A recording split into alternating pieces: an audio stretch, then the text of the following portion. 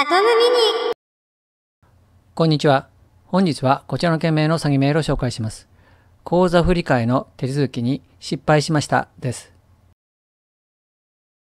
まずはじめに詐欺メールの内容を紹介します。その後、詐欺メールの中のリンクをクリックしたらどうなるかを試してみます。こちらの動画をご覧ください。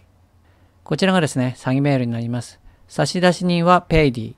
件名は口座振替の手続きに失敗しましたですね。メールの内容ですけれども、大変申し訳ございませんが、お客様の口座振替のお申し込みがネット口座振替受付サービスで正常に処理されませんでした。口座振替に必要な項目は各銀行によって異なります。各リンクよりご利用の銀行の手続き方法をご確認の上、再度お申し込みください。詳細はこちら。こちらがリンクになってますね。正常に処理されなかった理由に関して、当社では情報を受け取っていないため、お手数ですが、ご利用の銀行に直接お問い合わせくださいとなっています。ではですね、こちらのリンクをクリックしたらどうなるかを試してみたいと思います。詐欺メールのリンクをクリックしたら、このように表示されました。このサイトにアクセスできません。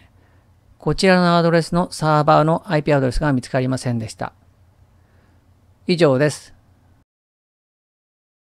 いかがでしたでしょうか？今回の詐欺メールの件名は、口座振替の手続きに失敗しましたです。今回のメールは、Paydy を装った詐欺メールです。私は Paydy というサービスについてよく知りませんし、使ってもいません。身に覚えがないサービスに関するメールは、詐欺メールだと思った方がいいです。すぐにメールは削除しましょう。本日の動画はこれで終わりです。ご視聴ありがとうございました。